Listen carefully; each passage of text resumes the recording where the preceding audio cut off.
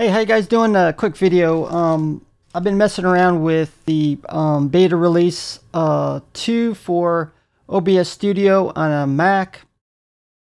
And it adds some uh, important features, uh, some that uh, Windows and even Linux has, which is uh, browser source, I believe it is. And just to show you um, right here, view docks, uh, yeah, custom browser browser docks right here, and it adds uh, special features. Uh, what I'm trying to get, for instance, uh, animated lower thirds, which previously only Windows had, and I think even Linux. Um, and now I've done some testing. It's still in beta, and there's some bugs to work out. But just to show you, um, we can go to animated uh, lower thirds just to show you.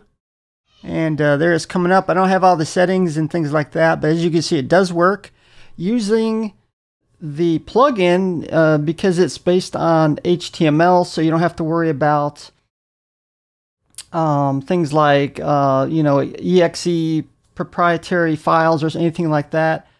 Um, unfortunately, when you close out OBS Studio, I lose it and you have to redo it. But the settings are in there, so um, I don't know if it's me forgetting something or um, it's still in beta or the um, the plugin animated lower thirds is not um, specifically coded for Mac. I'm not sure, but it uh, does work, and uh, we're just going to turn it on one more time to show you.